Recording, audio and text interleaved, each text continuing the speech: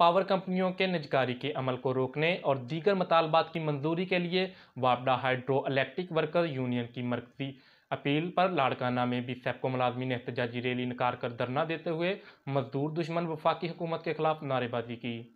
वापडा hydro union के regional chairman Nisar Shaikh की क्यादत में पावर हाउस से निकाली गई रैली में बैनर्स उठाए सेपको मुलाजमीन की बड़ी तादाद ने शिरकत की।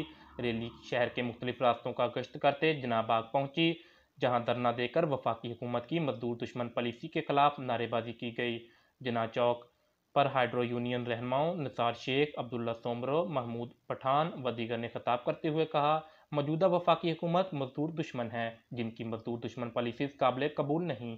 निजकारी के अमल को रोक कर बंद पड़े पावर हाउसेज को चलाया जाए।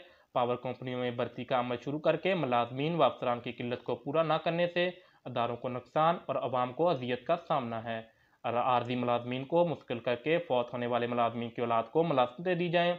वापडा की N T D C office Lahore से इस्लामाबाद मुंतकिल करना साजिश है। हफाती सामान और गाड़ियाँ फ्राहम करके लाइन स्टाफ को हादसा से बचाते हुए प्राइवेट लैंडमैन को बिजली के पोल पर काम करने से रोक कर सख्त एक्शन लिया जाए ताकि हादसा से बचाकर जिंदगियाँ बचाई जा सकें। मुकर्रीन का कहना था, अगर मुतालबात मंजूर ना किए गए तो सैपको मुलाजमीन एहतजाज का दायरा वसी करने पर मजबूर होंगे। इस मौका पर हाशम गाद, अली महमूद जतोई, हादी जतोई, रियाज सांगी, वसीम जतोई, गुलाम मुस्तफ़ा चांडियो व दीगर रहनमा भी मौजूद थे।